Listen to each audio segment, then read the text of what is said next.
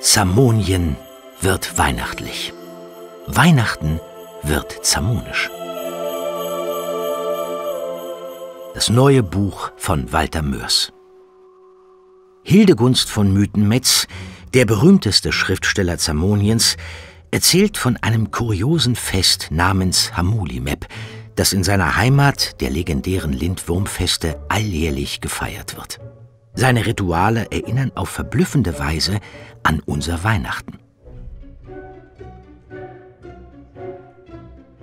Mythenmetz berichtet von rostigen Gnomen und Hamuli-Mep-Wurmzwergen, von Trilobitensuppe und feuerlosem Feuerwerk, von singendem blauem Blumenkohl und dem Lindwurmfeste-Diamanten. Ein faszinierendes Feuerwerk der zamonischen Fantasie.